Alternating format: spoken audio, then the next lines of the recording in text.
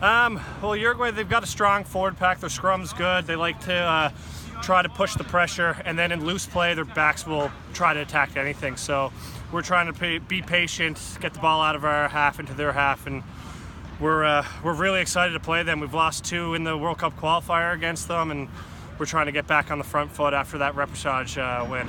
You guys won uh, your last three test matches in the repechage, so you're on a little bit of a win streak here. How important is it to keep it rolling leading into World Cup?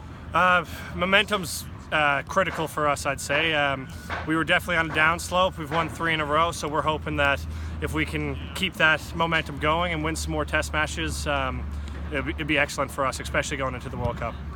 First game, uh, first test match for you since June against USA in Halifax. How are you tracking with coming back from injury?